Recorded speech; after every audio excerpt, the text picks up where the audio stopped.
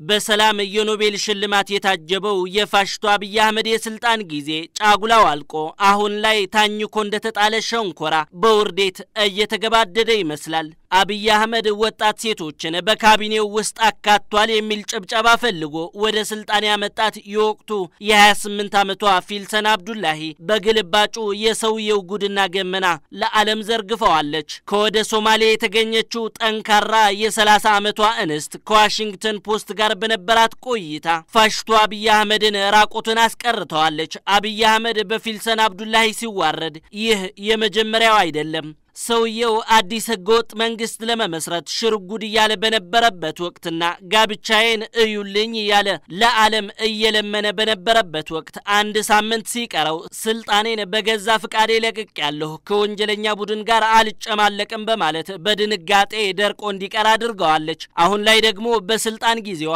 የምታውቀው ጉድ የገጠማት ፈተና የአብይ አህመድም የተሸፈነው ገመና ለዓለም ህዝብ አጋልጣለች።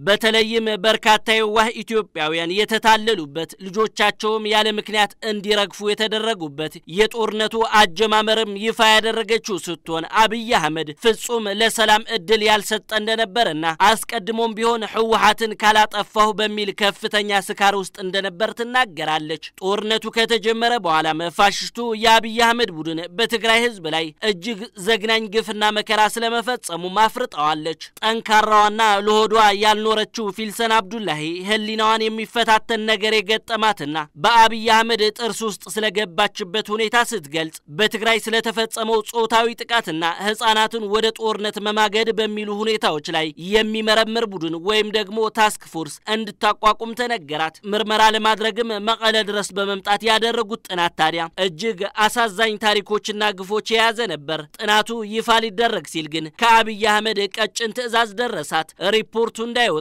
ቀዩ መስመርም እንዳታልፍ ተነገራት። ሪፖርቱ ቅርጫት ውስጥ ተወርውሮ አሰቃቂ ግፍ የፈጸመው የትግራይ ሰራዊት ብቻ ነው በሚል እንዲቀየርም ተነገራት። ፊልሰን አብዱላሂ ግን እንደ ሌሎቹ የብልጽግና ሰዎች ልፍስፍስ አልነበረችም። በትግራይ ሴቶች የደረሰው አስከፊ ጾታዊ ጥቃት በትዊተር ገጿ ላይ ያሰፈረችው። በዚህም ፊልሰን አብዱላሂ በሰውየው ሹል ጥርስ ውስጥ ገባች። ከሃዲ የትግራዮች ጠበቃ የሚል የውስጥ ለውስጥ ታርጋም ተለጥፎባት ወዳጆቿ ሳይቀር ከእሷ ጋር መቅረብ ይፈሩ እንደነበር ትናገራለች። ፊልሰን አብዱላሂ ከዋሽንግተን ፖስት ጋር በነበራት ቆይታ ገሃድ ያደረገችው ሌላ እውነታ ደግሞ ሰውየው በትግራይ ሕዝብ ላይ ያለው ጥላቻ ነው። በአንድ ወቅት አንድ ከፍተኛ የብልጽግና ሰው ወደ ቢሮዋ ድረስ በመሄድ በሚኒስቴር መስሪያ ቤቱ ያሉት የትግራይ ተወላጆች በሙሉ እንድታባረር ከአብይ አህመድ እንደተላከ ሲነግራት እሷም አብይ አህመድ ራሱ በአንደበቱ እንደዚህ ይበለኝ ካልሆነ ደግሞ የተጻፈ ደብዳቤ ይስጠኝ ብላ እንደሸኘችው ትናገራለች። የፊልሰን አብዱላሂ ትዕግስት እየተገባደደ መጥቶ ታዲያ መስከረም ወር ላይ